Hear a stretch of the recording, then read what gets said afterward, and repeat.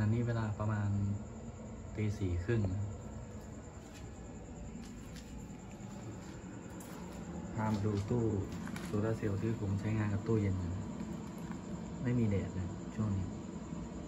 ใช้งานร่วมกับแผง 340 วัตต์2แผงต่ออนุกรมกันนะครับตู้ control ชุดนี้ก็ใช้งานกับตู้เย็นได้ดีครับใช้งานผ่านมา 2 สัปดาห์แล้วฮะรันต่อเนื่อง 24 ชั่วโมง สำหรับบ้านส่วนที่อยากเอาไปใช้ก็ใช้งานได้แดดไม่มีด้วยใช้ 24 ชั่วโมงยังไม่ได้สลับไฟบ้าน ใช้งานร่วมกับแบบดิสเจล100 แอมป์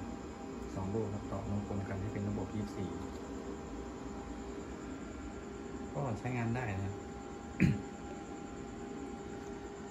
บ้านสวนที่มีไม่มีไฟฟ้าเข้าถึงนะ ก็เอาโมเดลนี้ไปใช้ได้นะ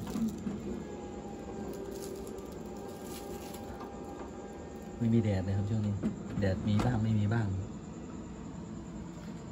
มาดูตอนสามทุ่มนี้ยี่สิบสี่จุดจุดสองใช้ไปด้วยชาร์จไปด้วยครับ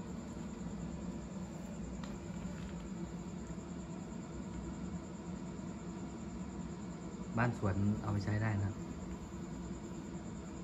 สองแผงสามร้อยสี่สิบาทสองแผงกับตู้นี้แบตก็เป็นแบตเจลหนึ่งร้อยแอมป์ดันได้ครับ ไม่ค่อยมีแดดก็ดันได้ครับผม